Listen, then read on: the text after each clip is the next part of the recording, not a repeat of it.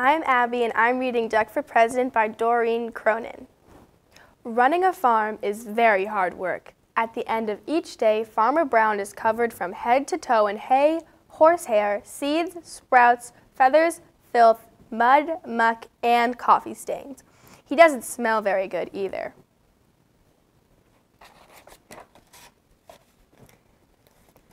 The animals have chores to do too. Pigs, clean under the beds. Cows, weed the garden. Sheep, sweep the barn. Duck, take out the trash, mow the lawn, grind coffee beans.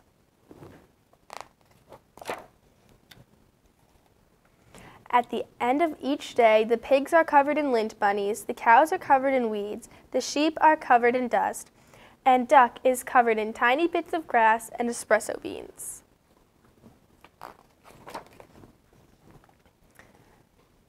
Duck did not like to do chores. He did not like picking tiny bits of grass and espresso beans out of his feathers.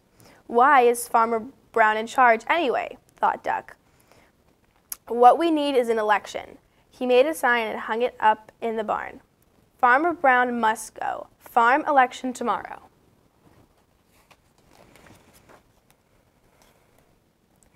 The next morning, Farmer Brown found a poster on his front door.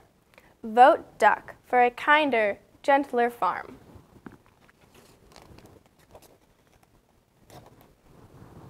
Farmer Brown was furious. He ran to the barn and found the animals registering to vote.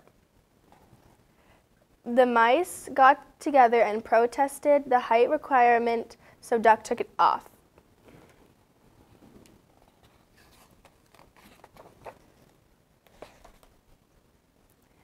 On election day, each of the animals filled out a ballot and placed it in a box.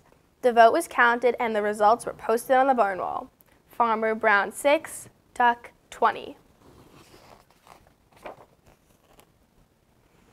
Farmer Brown demanded a recount. One sticky ballot was found stuck to the bottom of a pig. The new tally was Farmer Brown 6, Duck 21. The voters had spoken. Duck was officially in charge.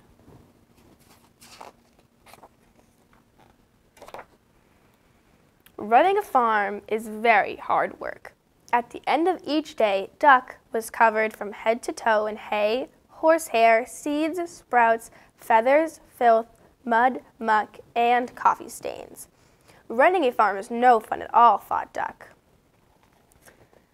That night, Duck and his staff started working on Duck's campaign for governor.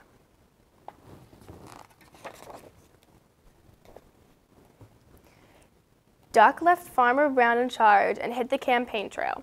He visited small town diners, he marched in parades, he went to town meetings, he gave speeches that only other ducks could understand.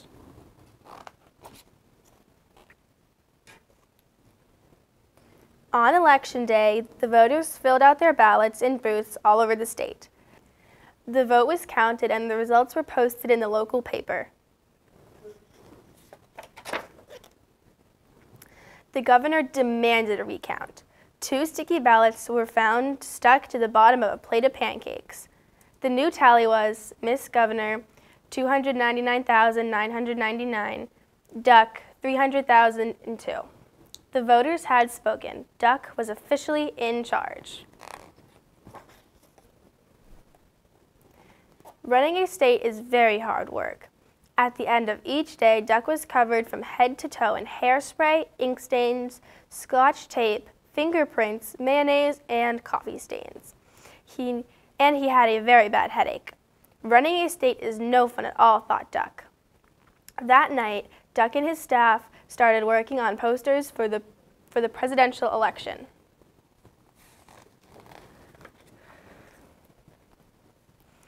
Duck left his staff in charge and hit the campaign trail. He kissed babies in local diners, he rode in parades, he gave speeches that only other ducks could understand. He even played saxophone on late night television.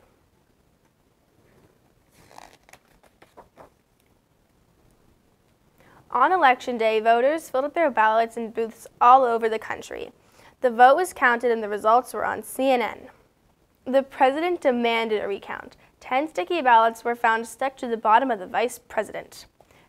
The new tally was 50,546,165 to 50,546,180. The voters had spoken. Duck was officially in charge. Running a country is very hard work. At the end of each day, Duck was covered from head to toe in face powder, paper cuts, staples, security badges, Secret Service agents, and coffee stains. And he had a very bad headache. Running a country is no fun at all, thought Duck.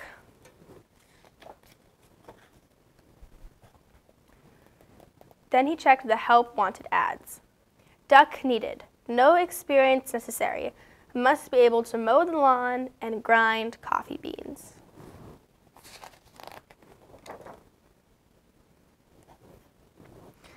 Duck left the vice president in charge and headed back to the farm. At the end of each day, Farmer Brown is now covered from head to toe in hay, horsehair, seeds, sprouts, feathers, filth, mud, muck, and coffee stains. And Duck. is working on his autobiography. The end.